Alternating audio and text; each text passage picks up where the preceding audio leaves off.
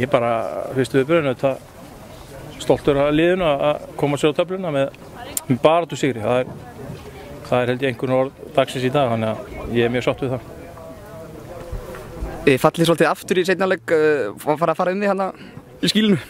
Já, auðvitað fer um hann þegar liði færi svo voru öllinu og pressar og síðustu 20 myntar í síðustu þrem leikjum hafa verið og grærfið, við fengið mikið mörgum águr, þannig að eðla fer auðvitað um hann, en við gáum fá, fá færi águr í dag. Hann varði, held ég eina færið er í setna álíku varðan mjög vel og, og hann er þetta fjall okkar megin, þannig að ég var mjög sáttu við hvernig menn brúðist við það.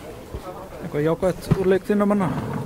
Já, það mjög jákvæmt að fá þrjú stík, við vorum með 0, þannig að það er fyrst og náttúrulega jákvæmt og menn lögðu sér vel fram, meira raunlega get ég ekki beðum en, en ég auðvitað vilju alltaf spila betra og betri bolta, það vilja allir gera en, en við erum auðvitað í þessu líka til að ná í stík, það er kloknað það.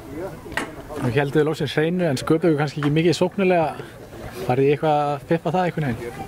Jú, þetta er, það er þjálfræðum snýst út af það að halda markinn hreinu og skora heinum einn og það gekk hjá okkur dag, við heldum hreinu þá þurfum við bara að skora eitt mark en, en ef við fáum okkur þrjú og fjóðu mörk eins og við gert í fyrstu þreim leikjónum þá þurfum við að skora held í fimm, þannig að það gefur auðvitað að við þurfum að byrja réttum enda og við gerum þetta.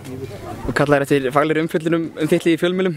Hvernig hefur eitthvað við það að bæta kannski eftir Pepsi-mörkin í síðustu viku? Það sem Tómas Ingi fór kannski ekki beint fögrum orðum um Joe. Nei, ég vil nú ekki koma þetta á, og benda á einn eða neitt, menn með, með að segja það sem, að, það sem þeim býr í brjósti. Ég var nú bara kalla því að þeim með að og, allir með að gaggrina þóslið og með að gaggrina mig eins og þau vilja. En, en mér fannst þetta bara fullátt gengið það sem eru börn og, og fjölskyldur og aðrir að horfa á svona. Það er ekki fallegt uppnefna þannig að það var nú eina sem ég var að byggja um að menn gerði það svolítið fælega og myndi gaggrina okkur fyrir fókbúttalegu liðina, ekki hann. Hvað myndu leggja upp með öðruvísi fyrir næsta leik? Já, prinsipin verður sömu, það er að verjast vel og berjast fyrir hvern annan og vera þettir og reyna, reyna svo að koma bóltanum í fætur á, á fremstumönum okkar og haldunum og því við erum með hraða og flotta sóknarminn en, en það er ekki nóg að hafa það ef við nýtum það ekki þannig að það er alltaf verkefni sem við erum að berjast við að, að geta spila þéttan og góðan varnarleg liðið og, og, og verið samt sem áður hættulegir við markansvækana.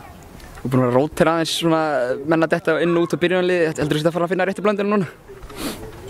Já, blandan gekk ekki vel í dag, það eru menn að koma með slum og það er stert að fá þá og menn að ná heilsu sem hafa verið hálf tæpir en samt spila þannig að, þannig að ég auðvitað fagna hverjum, hverjum sem er sem bætist í, í hópum fulla heilsu. Þannig að það var flott að sjá Ármann og Sigur mæta í dag aftur eftir, hafa ekki tekið þátt í það sem að vera. Þannig að við róturum og skoðum þetta og auðvitað spilum alltaf á, á því liði sem við teljum vanlegast til árgus í hverju leik.